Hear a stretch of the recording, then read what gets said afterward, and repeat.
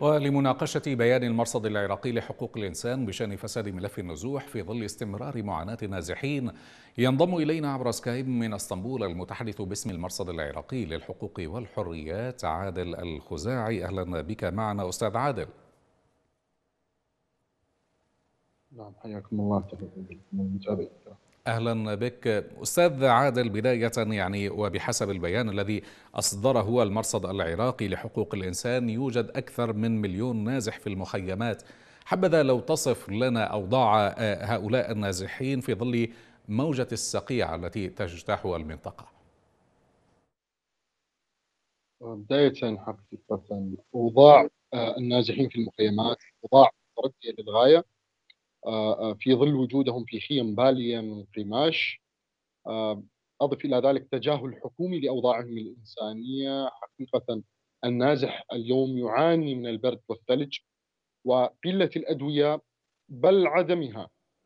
الكثير من النازحين يعانون من نزلات البرد والامراض التي يسببها البرد القارس خصوصا كبار السن والأطفال. حيث لا يأتي البرد القارس من محيط الخيمة فقط بل من الأرض والرطوبة. حقيقه وصل إلينا أيضا سقوط خيمة على قاطنيها في مخيم العويسات مما أدى إلى إصابة شخصين داخل الخيمة. الأطفال آه، لو لو تكلمنا عن الأطفال هم حقيقة أكثر المتضررين من هذا البرد القارس وموجة الثلوج. والصقيع في آه، ظل وجود لا وجود لمواد تدفئة أو بطانيات أو أغطية أو صوبات يليهم حقيقة كبار السن الذين كان لهم نصيب في المعاناة بسبب البرد القارس. آه، يعني الكثير منهم حقيقة آه، لا ينام الليل يعني كما وصفوا لنا بسبب البرد. وبعضهم حقيقة يجمع الحطب والأخشاب للتدفئة لكن هذا حقيقة فيه خطورة بسبب احتراق عدد من الخيم بسبب هذا النوع من التدفئة. آه، المسؤولين حقيقة لا يكترثوا آه، لهذا الحال الصعب للغاية. كما إن المساعدات آه، من الأهالي أيضا مشكورين لا تكفي لا تلبي جميع المهجرين. حقيقة حملات الأهالي كانت أفضل من الجهد الحكومي الآن. ويعني حقيقة نحض المواطنين على مد يد العون لإخوتهم النازحين من الأغطية ومواد التدفئة وغير ذلك، نعم. يعني نلاحظ تكرار هذه المأساة في كل سنة على يعني أو حتى على مدار السنة، يعني ناهيك عن البرد هناك تراجع أو هناك إهمال طبي، هناك إهمال في التعليم على جميع المستويات. لماذا تتكرر هذه المأساة؟ ما هي مواطن الخلل؟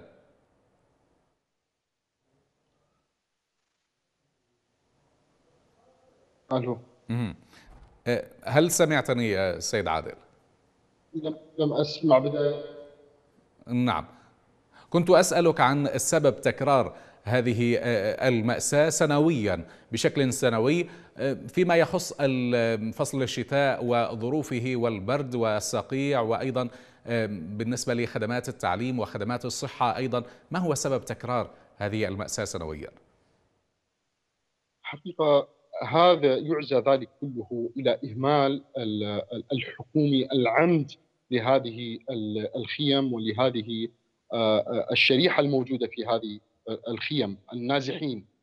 آه، حقيقة تعاملت الجهات الحكومية والممسكة بملف ملف الهجرة والنزوح تعامل تجاري وتعامل يعني بعيد عن الإنسانية. الكثير من ال يعني الكثير من الناس تألموا وعانوا من هذه آه، قضية الهجرة والنزوح.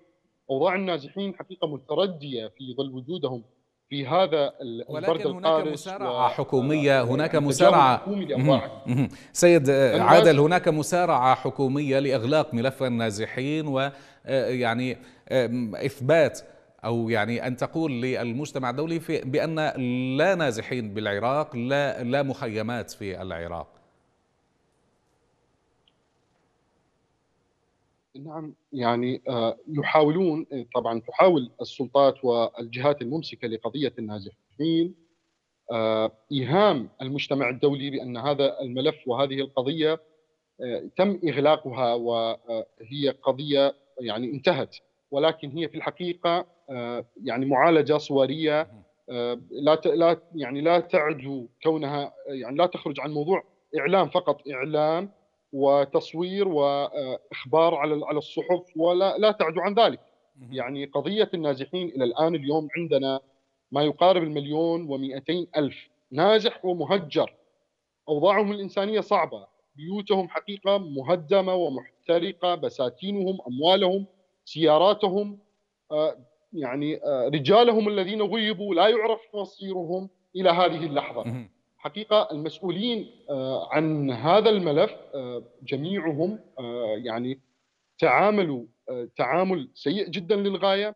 التعامل مع ملف النزوح يعني خصوصا كان تعاملا ضعيفا هشا آه يعني وزارة الهجرة والمهجرين لم يعني آه لم تغطي الحدث كمسألة مهجرين لم تغطي الحدث طيب هنا المناسبة والحقيقية والصحيحة. سيد عادل هنا بما أننا نتحدث يعني كنا نتحدث في تقريرنا عن منطقة الحضيرة والنازحين فيها. هل تختلف أوضاع أهالي آه، منطقة الحضيرة في محافظة صلاح الدين عن أحوال ساكني المخيمات بعد التدمير الواسع لمنازلهم من قبل آه، قصف الميليشيات؟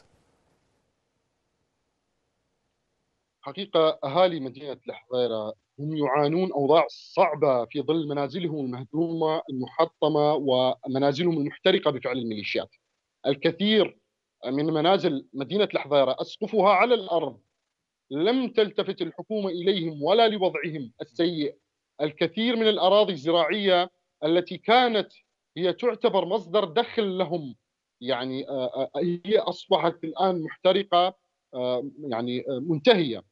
يعني آه، يعني البنية التحتية حتى المدرسة لم تسلم من هذا العبث الهمجي للميليشيات.